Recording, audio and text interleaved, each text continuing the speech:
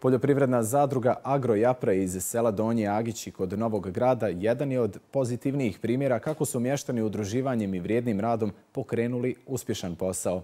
U ovoj zadruzi koja se finansira od vlastitog grada, većina zaposlenih su mještani ovog i okolnih sela. U radu zadruge učestvuje i više od 250 poljoprivrednih proizvođača iz Republike Srpske i Federacije BiH, od kojih otkupljuju proizvode. Dok danas sela sve češće ostaju pusta, iz Novogradskih donjih Hagića i okolnih sela niko ne odlazi. Lokalnu mladu i staru radnu snagu zadržala je poljoprivredna zadruga Agrojapra. Osnovana prije 16 godina na temeljima nekadašnje zadruge, podignuta je iz pepela.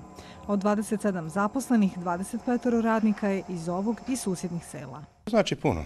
Znači neku sigurnost i tu smo blizo, svi smo mještani, svi se naduju zaposlenju ovdje tako da da ima više i zadruga i u drugim mjestima, normalno da bi narod ostao tu. Ja nisam se očekivala da će sa 50 kojom godinom dobiti posao, međutim, eto, desilo se, zaposlila sam se, radim, redovno primam platu. Poljoprivredna zadruga Agrojapra finansira se od vlastitog grada i godinama uspješno posluje.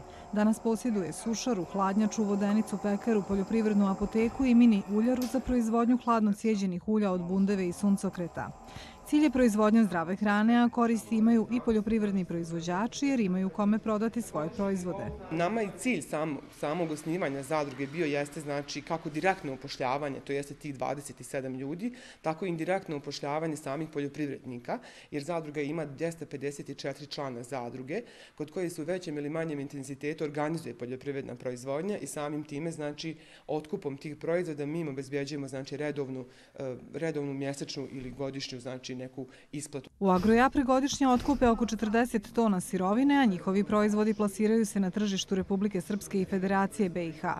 Mještani se nadaju da će biti proširenja proizvodnje kako bi zadruga zadržala generacije koje dolaze.